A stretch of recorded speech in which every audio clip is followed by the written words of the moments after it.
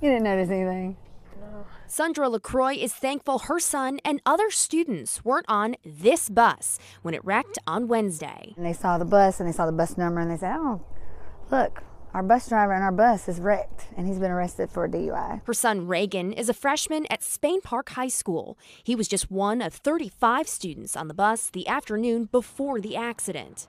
Mark Pierce is the driver, now charged with driving under the influence of alcohol. State troopers say Pierce's blood alcohol content was 0.15, nearly four times the legal limit of 0.04 for bus drivers. You're scared and uh, really, I mean, it's shocking because at first we thought it was a joke. Pierce drove a route that lasted about an hour and 20 minutes, serving an area around Alford Avenue in Hoover.